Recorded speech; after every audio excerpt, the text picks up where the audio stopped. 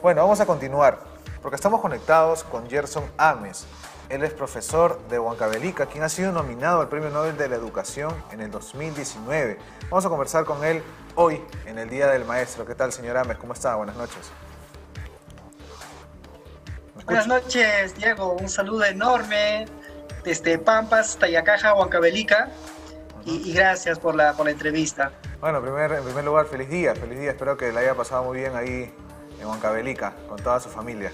Esperemos que se encuentre bien de salud, es lo más importante. Bueno, ¿cuál ha sido lo...? Sí, estamos bien. Sí, sí, cuéntenos, cuéntenos. Sí, eh, estoy bien, muchas gracias. Y por su intermedio también eh, agradecer el, saludo por el Día del Maestro y a, a su vez eh, retribuir también el saludo a todos mis colegas docentes por cumplirse o por celebrarse, conmemorarse el día de hoy, pues el reconocimiento al trabajo del maestro. Cuéntanos un poco para las personas que nos están viendo, eh, ¿cómo usted llegó a ser nominado al Premio Nobel de la Educación en 2019? ya, este, la verdad, junto a otros maestros, ¿no? Eh, en realidad cinco maestros, fuimos nominados a, este premio porque eh, este concurso era auspiciado también por la Fundación Barclay, que organiza el Global Teacher Prize, que es similar a un Nobel de, Educación, ¿no? Genial, perfecto. bueno, felicitaciones. ¿Y eh, cómo ha sido y qué difícil, cuéntenos usted, porque hay muchas personas que ya están reclamando que vuelvan las clases presenciales, que ya es hora. ¿Cómo, cómo usted, que está en Huancavelica, ha vivido en esa pandemia la educación? ¿Cree que ha sido muy eh, deficiente? ¿Cree que ha sido buena la educación virtual? ¿Aprende en casa, por ejemplo? Eh, indudablemente, frente a una, una situación pandémica, ya globalizado a todo el mundo, las alternativas y las variantes eh, siempre son positivas. digamos, ¿qué elementos más se podría haber hecho? Quizás eh, priorizar el tema de la conectividad, por ahí las empresas privadas, ¿no? Eh, fijar un apoyo contundente a las zonas rurales podría haber sido quizás una gestión, no algo más, pero indudablemente aquí eh, en la pandemia ha develado las grandes brechas en el tema educativo que existía. E, este tema de las brechas ya había, ya, ya existían. Ya habían eh, chicos con dificultades para ir a la misma institución educativa, ya había chicos eh, con problemas de desnutrición, existían. O sea, y, el profesor, con su propuesta, con las ganas de trabajar, con esta pasión que tenemos, hemos suplido años, años. Lo que hace la pandemia es develar todo esto y poner en cuestión. Eh, seguramente para el próximo gobierno que va, que va a ingresar, pues es un gran reto cortar todas estas brechas, ¿no? Porque la educación es el pilar fundamental del desarrollo de una sociedad. Si uno no tiene el, el ideal en ese, en ese sentido, indudablemente cualquier gobierno que entre definitivamente no va a tener eh, este auspicio, no va a tener eh, este derrotero de haber logrado haber desarrollado ah, significativamente el Perú.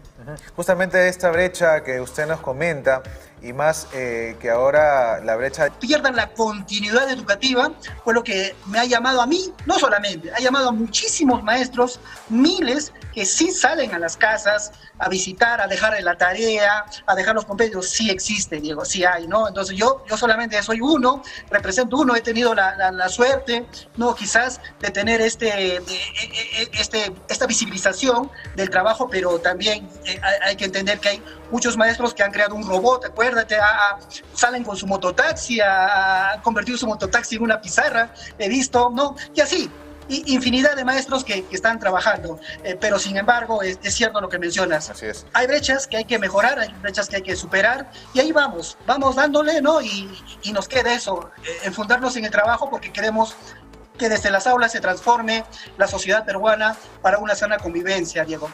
Así es, es, es justamente muy importante lo que usted nos comenta porque hay personas que realmente trabajan y son muy infelices ganando mucho dinero y hay personas que tienen poco, pero son felices haciéndolo.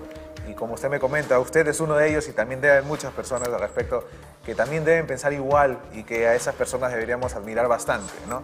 ¿Qué, mensaje usted le dejaría eh, a nuestras autoridades en estos momentos? Eh, ahorita, en este momento, el contexto es eh, uno, un, contexto bien, bien cerrado. Tenemos un fraccionamiento de, la sociedad por el tema político. Eh, eso nos, eh, nos da a nosotros el compromiso no solamente de desarrollar en mi caso como profesor de matemáticas, sus competencias matemáticas, sino también sus competencias ciudadanas, el estudiante no, no, no, solamente sepa hacer matemática, sino también pues desarrolle la habilidad de vivir, de convivir en paz, armónicamente.